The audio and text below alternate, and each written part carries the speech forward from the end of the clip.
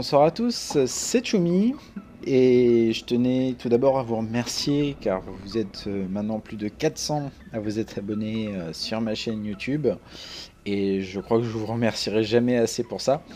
Euh, du coup, bah, je me suis dit pourquoi pas faire une petite vidéo pour les 400 abonnés. petite vidéo qui sera tout simplement une petite revue hein, de, de, mon garage. Alors, je vais pas trop trop m'éterniser parce que j'ai vraiment un, tas de chars. Euh, je vais juste vous faire un tour rapide de ce que je préfère. Et, euh, puis pour le reste, hein, je vous laisserai voir vite fait, euh, vite fait ce que j'ai. Donc pour les tiers 1, très sincèrement, je ne garde que le MS1, le T1 Cunningham et le Renault au-dessous.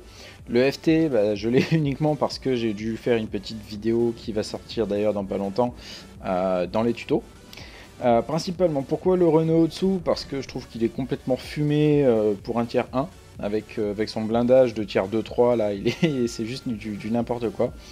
Le T1 Cunningham, bah, je l'avais gardé du temps de l'ancien format de, de 7 contre 7, et très sincèrement, je trouve aussi qu'il est assez fumé dans son, dans son genre. Et le MS1, je l'avais gardé à l'époque où il y avait des petits débarquements de clan War en tiers 1. Euh, parce que franchement c'est un sniper euh, pas dégueu. Je lui ferai également sa partie tuto, tout comme le haut-dessous d'ailleurs. Voilà, ça c'est pour mes, tiers 1. Ensuite, la petite revue des tiers 2. Alors, bah, j'ai le, c'est le gold, gold tier, hein, comme on l'appelle. Même si malheureusement j'ai vendu le LTP et le T1E6, T1E6 que j'avais eu à la création de mon compte, et le LTP qui était un cadeau de Noël. À l'époque, j'avais pas le même esprit de, collectionneur qu'aujourd'hui. Euh, donc le Panzer 2D qui nous avait été offert à Noël dernier, si je dis pas de bêtises. Que je ne joue pas, parce que je, tout simplement j'y arrive pas et il me plaît pas du tout. Euh, le tétrarche que j'avais gagné euh, en faisant la mission.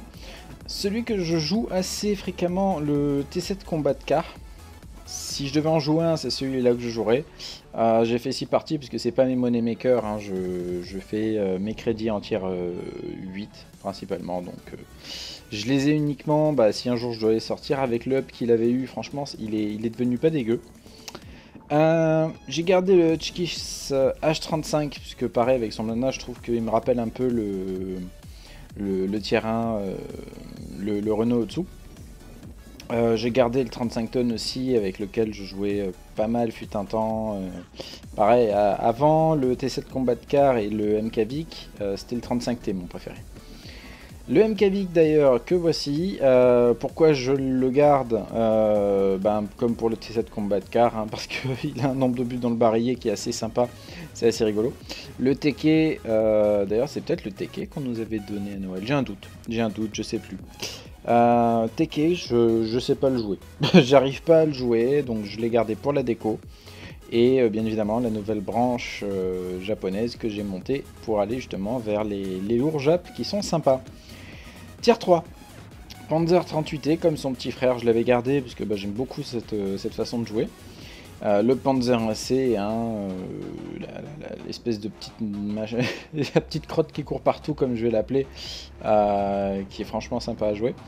Grosse Tractor Croup qui nous a été euh, offert euh, aux contributeurs pour Noël, euh, ce qui me permettra entre autres bah, de vous faire un, tuto dessus s'il y en a certains qui en font la demande. Hein. Le Panzer S35 qui était disponible sur une très vieille version de World of Tanks à l'époque où il était sur support CD, mais ça remonte à un temps que les moins de 20 ans ne peuvent pas connaître. Le mardeur, quand j'ai monté la nouvelle branche DTD et que je me suis pas résigné à revendre, d'ailleurs euh, à terme je vise d'avoir l'intégralité des genres du jeu dans mon garage, mais voilà, j'attends les, promotions sur les places. Le BT7 artillerie qui nous a également été offert et que je n'ai pas encore joué, peut-être un jour, qui sait. M3 Light que j'avais gardé, euh, gagné pardon, euh, lors du concours pour devenir contributeur francophone, c'était justement, il faisait partie des récompenses. Le T127, hein, le fameux, celui qui est dans les codes qu'on a tendance à vous distribuer de temps à autre et qui pour son tiers est également très très très fumé. Euh, la nouvelle branche des Britanniques et le type 91 Heavy donc chez les, Japonais. Globalement chez les tiers 3, euh, mon préféré c'est le T127, le Panzer 1C Et avant le T127, c'était le Panzer 38. Mais voilà, le, gros chouchou du moment, c'est le T127. Et beaucoup me diront, euh, je pense la même chose, il, est complètement abusé hein, pour, pour un tier 3. Et donc on va passer au tier 4. Tier 4, qu'est-ce que j'ai? Alors, mon gros chouchou, le T40. Euh, à l'époque, pareil, où il y avait eu des débarquements de, clan War en tier 4 pour des events spéciaux, eh ben, je le prenais. Parce que franchement, euh, voilà, tu avais une bonne pénétration pour un bon alpha et une bonne cadence. Le T40 pour moi était complètement abusé. Euh, qu'est-ce que j'ai gardé également? Le 38 tonnes euh, Marder, ben, même que précédent, hein, parce que je montais la nouvelle branche des, Allemands. Le Panzer 3 qui est un petit médium assez sympa, qui bouge bien et qui est assez rapide, que j'ai gardé également pour les petites parties de détente. même si voilà, j'avais, ça fait un moment que je l'ai pas rejoué, j'ai des stats un petit peu dégueulasses avec. Le Birchgun, quand j'avais monté la branche des Britanniques que j'avais gardé parce que je me suis dit oh tiens une artillerie sur, euh, Tourelle 360 euh, qui n'est pas une française, on va la garder. Et en revanche celui-là je l'ai gardé uniquement parce qu'il me rappelle les anciennes artilleries, à savoir l'ancienne AMX 105 et pas la AMX 105 AM, donc à l'époque où la AMX 105 de mémoire était en tier 4. Euh, sur la, version qui avait été upée en tier 5, je retrouvais pas les mêmes, euh, la même chose. En revanche, j'ai trouvé exactement ce que je cherchais chez celle-ci. Voilà, je, retrouve la même. En fait, c'est comme si celle-ci avait, avait toutes les caractéristiques de l'ancienne AMX 105. Voilà. La partie, la, partie lourde hein, chez les Japonais. On continue du coup à, grinder cette partie. On arrive au tiers 5, alors là ça commence à être un peu plus fourni. Euh, KV1, KV1, mon lourd de prédilection en tiers 5, il n'y a pas mieux à mon sens. Le T67 que je regrette, euh, parce qu'à l'époque où il avait son ancienne tourelle, il avait la classe. Là, je sais pas, il a, il il a, il a pas de gueule. Mais à côté de ça, bon, il est toujours sympa, quoi. Il tourne, enfin, il tourne toujours pas, mais euh, il est toujours aussi rapide et mobile, donc ça peut être un peu sympa. Mon chouchou, le LC. Le LC avec qui j'ai fait énormément de parties, j'ai un ratio de victoire pas dégueu, c'était mon char détente euh, à l'époque où je jouais vraiment en casu. Euh, le 105 LEFH, hein, je l'avais pris à Noël de l'an dernier, je me suis dit voilà, si un jour on fait des, campagnes de tiers inférieurs, ce sera toujours bon de l'avoir. Churchill et Archer pour les Green Day, le Chinukai qui nous avait été offert à Saumur, comme quoi, ceux qui n'étaient pas Saumur, vous avez raté quelque chose. On retrouve l'OE expérimental, donc que je, suis en train de grinder hein, pour aller sur la, branche euh, à plus gros tiers. On retrouve le med qui avait été euh, rétrogradé, alors je crois que c'est le 3001H, il me semble que c'est lui. Non, c'était en tier 6 qu'il avait été modifié de médium à lourd. Celui-là, c'est le précédent, je sais plus, j'ai un trou de mémoire. Mais bon, je l'ai gardé juste parce que je voulais pas le revendre, je, le joue pas, je, l'apprécie pas trop. Lui, alors lui, je ne sais pas le jouer non plus, pareil, hein, euh, ça a été une souffrance infâme, pour le passer. On a le stock 3G et le stock 4. Stock 4, donc celui de la mission. Hein, oui, je, je n'ai fait que celle-ci. La grille, le grill plutôt d'ailleurs. T34, SU85, SU122A, euh, que je n'arrive pas à jouer. J'y arrive pas, j'ai les Artirus euh, et les Allemandes, j'ai beaucoup de problèmes pour les jouer. Idem pour le Chafi, à savoir pourquoi, je non, ça passe pas. Ça passe pas. Le Sherman, le M7, le T1 Heavy qui a été euh, mon tout premier char lourd de tier 5. À savoir que j'ai monté avant toute autre chose les branches américaines chez les lourds. Donc euh, voilà, ça a été vraiment mon premier char, euh, premier char lourd sur lequel j'ai pu me faire la main. Euh, le Wolverine que j'ai pris récemment, vraiment juste histoire de dire, bon bah voilà, au moins je l'ai dans le garage. ah bah non, c'est pas le Wolverine, je vous dis des bêtises. voilà, j'ai le Jackson à débloquer. Le Jackson à débloquer. il faudra que je l'achète justement, et de toute façon, histoire de faire les tutos dessus. L'américaine, euh, bah, que, j'ai continué de monter jusqu'au tier 6, hein, parce que euh, j'essaye de monter une deuxième branche d'artillerie chez les, américaines, les français forcément, et voilà donc la fameuse, la MX 105 AM, qui avant était une, euh, la MX 105 et qui était donc au tier 4. Celle-ci, j'ai eu beaucoup de difficultés avec son up en tier 5 à la rejouer. Le Crusader, pareil, euh, pendant un temps j'avais du mal à l'appréhender, puis quand je suis passé au Cromwell et que j'ai su jouer le Cromwell, eh ben, ça passait beaucoup mieux avec le Crusader, mais voilà, j'ai quand même toujours des stats un peu dégueulasses, d'autant plus que je le joue plus beaucoup. Et le Bishop, qui, m'a toujours fait rire, euh, avec son espèce de gueule, euh, de gueule assez bizarre, mais il m'aura fallu que 4 parties pour passer à la suivante. Voilà. On attaque vite fait les tiers 6. Alors le Nashorn que je suis en train de grinder également. Euh, donc pareil, j'ai du boulot dessus. Le Jack Panzer 4 que je suis tout, aussi en train de grinder. Le Hummel que j'ai arrêté. T3485 que j'ai passé à 43. T150 et KV85, l'ancien KV1S euh, qui, est moins bien. Qui est quand même moins bien que le KV1S de l'époque. KV2, SU100 et le T37, celui que je farme un petit peu en ce moment, notamment euh, pour tout ce qui est event en tier 6, que ce soit clan War, campagne, etc.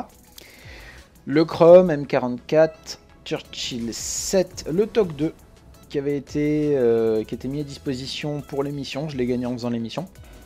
La V304, euh, bah, j'en suis à celle-ci actuellement pour passer à la suivante. 5916 qui était euh, à l'époque le, le scout de tier 6 que je jouais le plus.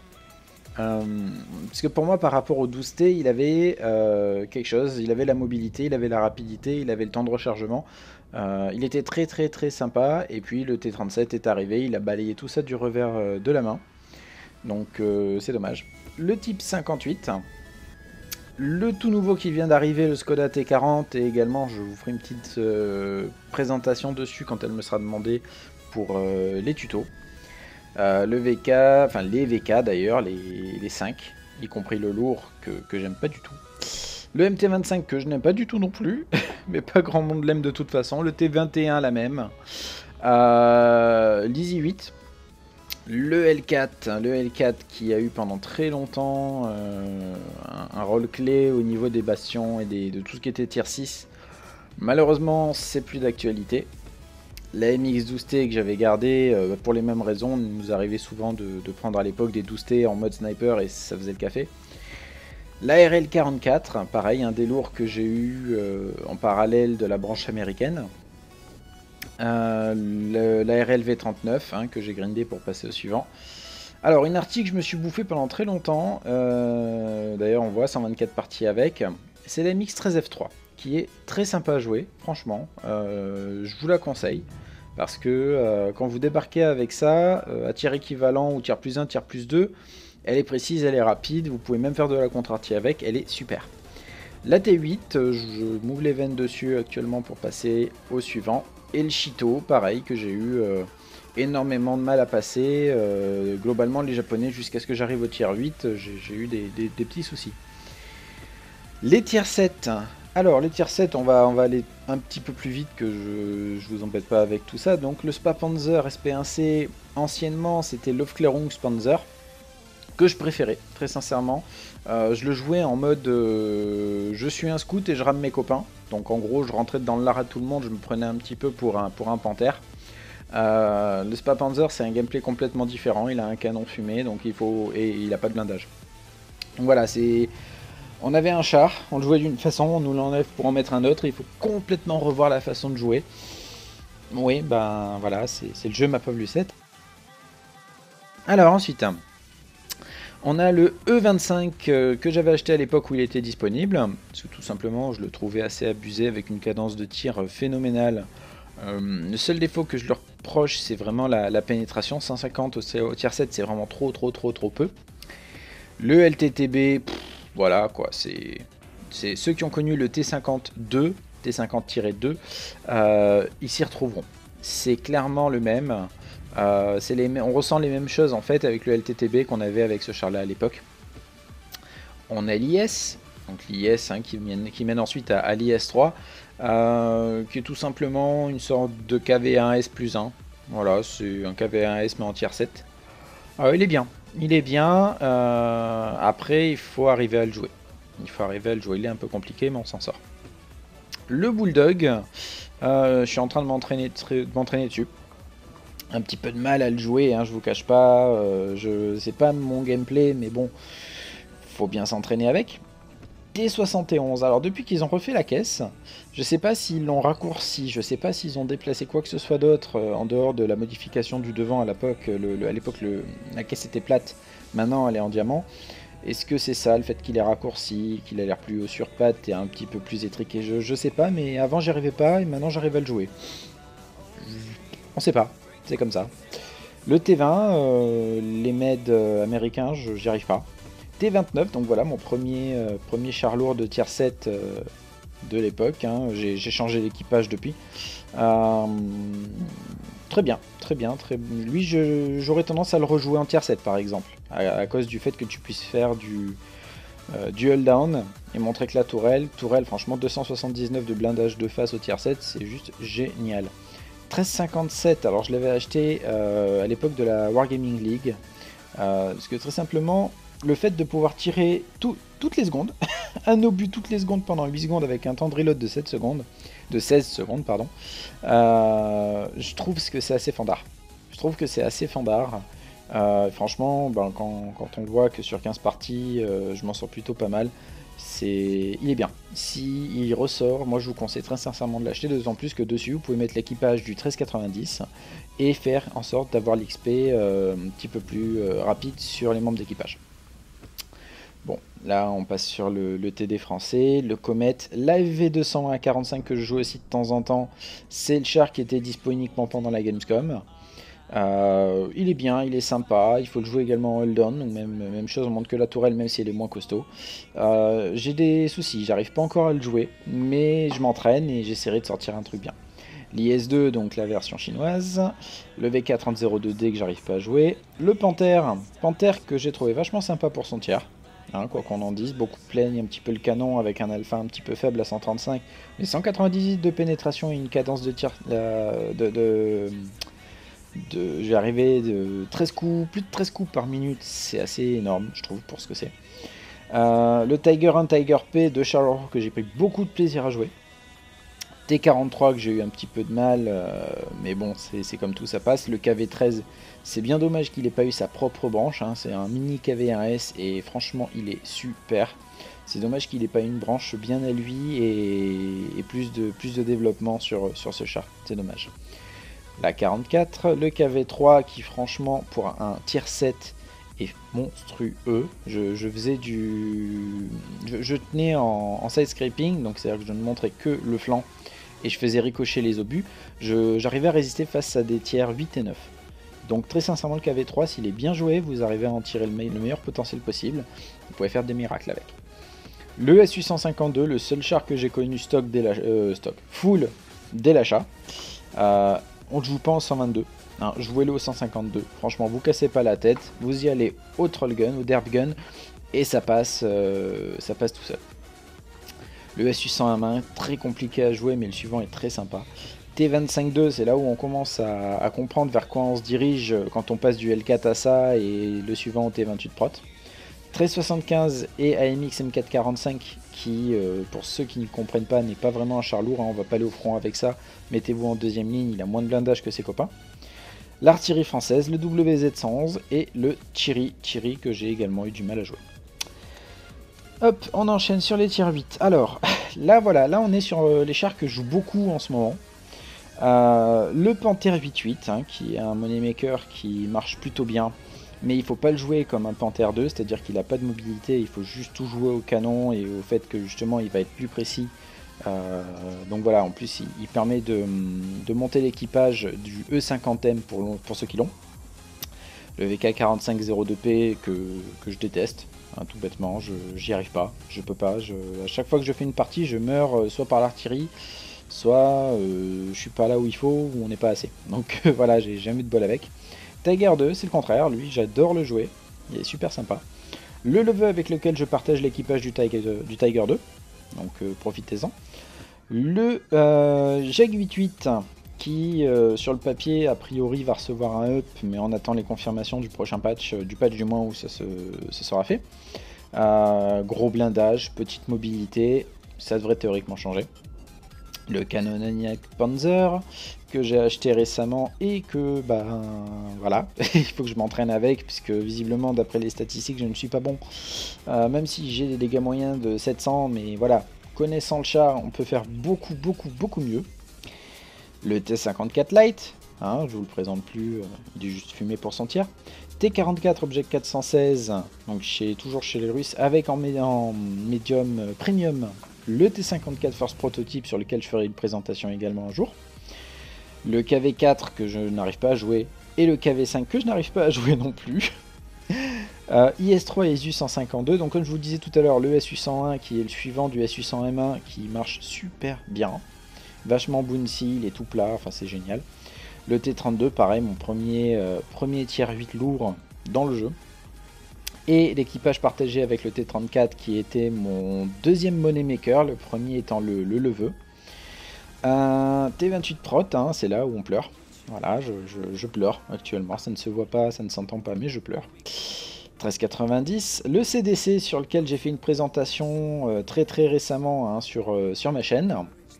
La MX 50 qui est de moins en moins croisée d'ailleurs maintenant euh, sur les formats de tier 8 par rapport justement au, temps de reload du barillet. Après, c'est vrai qu'avec les T54 Lite, c'est plus sympa de jouer du T54 Lite, c'est plus, mobile. Après, certaines équipes sont un peu old school, IS-3 50 c'est un choix. Le VZ132 qui aurait pu marcher pendant un temps, qui s'est fait complètement éclipser par le T54 Lite. 59 patons. Alors, je l'ai pris pour le fun, je vous cache pas. Je l'ai pris pour le fun parce que euh, il a un gros problème, c'est le tourello. Euh, les gens ne tirent que ça et ça rentre comme dans du beurre. Donc ça me... Voilà. Ça me... Ça me fout un peu les glandes, on va dire. Mais voilà, je l'ai dans mon garage et si un jour il y a une modification quelconque, à ce moment-là, je le jouerai peut-être. Mais pour l'instant, il est très compliqué à jouer du fait que... Euh, il est un peu plus lourd, moins maniable, et on a beau avoir une tourelle blindée, quand on a un weak spot comme ça où tu peux tirer avec un tiers 1, c'est un peu gênant. T34-3, super médium, très très bon médium avec un canon de 122 mm, faut juste le prendre en main et savoir le jouer correctement, mais il est génial.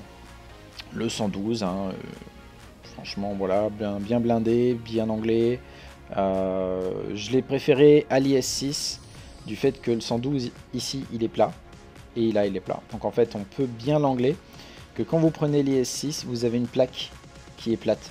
Ce qui fait que quand vous êtes de face vous avez une plaque plate, quand vous êtes anglais vous avez une plaque plate et quand vous êtes de flanc vous avez une plaque plate. Donc en gros vous avez tout le temps des plaques plates. Donc en gros on vous rentre comme on veut. C'est horrible. Le ST1, donc le tier 8 Jap euh, également que je suis en train de grinder, il euh, faudra juste que je me motive et que je le reprenne. Panther 2 et la Lorraine. Donc voilà pour les tiers 8, euh, il y en avait pas mal. Euh, comme ça, n'hésitez pas. Si vous voulez que je fasse une petite présentation sur les des premiums, maintenant que vous les avez tous vus, euh, bah, n'hésitez pas à me le dire. Et puis comme ça, je vous ferai plus de plus d'hors série sur le sujet. L'IS8 que je suis en train de grinder vers l'IS7, IS8 d'ailleurs qui va être nommé euh, T10, T10 je crois au prochain patch. je vous confirme ça. De toute façon, c'est déjà indiqué dans la présentation. IS8, voilà, T10 sous la désignation T10. Donc le nom va changer. Lorraine 40 tonnes que je suis également en train de grinder vers la Batchat 25 tonnes. La Batchat 155-55 que je suis en train de grinder également vers la 155-58. Le WZ120 que je suis en train de grinder vers son, son tier 10. Le 50 où j'ai eu énormément de mal euh, à le faire passer, à savoir pourquoi. En revanche, le 50M, je me régale avec, allez comprendre. Le M103, pareil, mon premier tiers 9, où on m'a bien fait comprendre qu'il se jouait pas comme les T32 et T29, euh, du fait que bah, la, tourelle était déjà de base moins blindée, 254 contre 280, plus de 290. Euh, donc c'est un peu compliqué de, se dire euh, j'ai deux tirs où je joue de la même façon, un troisième où je change et un quatrième où je reviens comme le précédent, comme les deux précédents, enfin comme les deux d'avant. C'est un peu compliqué. 50-120, une horreur une horreur, il tire pas vers le bas, il tire pas vers le haut, il est pas blindé, j'ai cru que je le passerais jamais, mais il est passé. Ce qui m'amène donc au tier 10, alors prenez pas en compte ceux des, dominations, hein. euh, j'ai le E50M où je me régale, c'est juste un, char moyen complètement fumé, euh, vitesse maximale de 60 km/h avec un blindage de fou, un moteur de malade, un poids énorme, c'est un char clairement fait pour Rami, euh, Avec ça, je, je, cherche pas. Je vois du T32. Oui, du T32. J'accélère. J'accélère et il se prend 2 à 3 fois plus de dégâts que ce que je lui fais. Bon, ok. Je l'ai monté avec le revêtement anti-éclat et euh, bélier. Aide. Mais très franchement, euh, je me régale. Il est mobile, il bouge bien, le canon est sympa. C'est pas le même type de gameplay que des médiums russes, mais en tout cas, euh, franchement, pour l'avoir testé sur le serveur test, j'ai kiffé. J'ai kiffé complet. Le T110 qui était mon tout premier tier 10, qui euh, heureusement depuis a reçu un, petit up concernant le Tourello, puisque à l'époque ben, tout le monde arrivait de près ou de loin à le toucher, et ça passait, et ça passait, et tu te disais à quoi je sers. Donc voilà, heureusement qu'ils ont pensé à modifier ça. Et euh, mon dernier tier 10 euh, que j'ai eu donc euh, il, y a, quelques mois maintenant, mais le dernier que j'avais que voulu farmer, c'est donc la MX 50B qui, en comparaison du 50-120, est beaucoup plus simple à jouer parce qu'il tire plus facilement vers le bas. Le haut c'est la même chose à peu de choses près, mais voilà, c'est clairement beaucoup plus facile de le jouer que son prédécesseur. Voilà, c'est fini pour le, petit tour de mon garage. Donc maintenant vous savez tout ce que j'ai dedans, bah, n'hésitez pas à me demander pour les chars premium ce que vous souhaiteriez voir. Et puis euh, bah, pour les autres, je vous dis à très bientôt pour une vidéo sur les tutos en live sur Twitch ou sur Facebook. En tout cas, n'hésitez pas à vous abonner, à suivre et, euh, éventuellement même. Alors, il y a Twitter, Facebook, euh, Twitch et YouTube. Donc n'hésitez pas à vous abonner aux 4 hein, et euh, j'espère pour vous vous croiser à l'occasion un de ces 4 en live. Euh, et peut-être qui sait dans mon équipe ou dans celle d'en face, ça sera avec plaisir. Allez, je vous dis à très bientôt, bye bye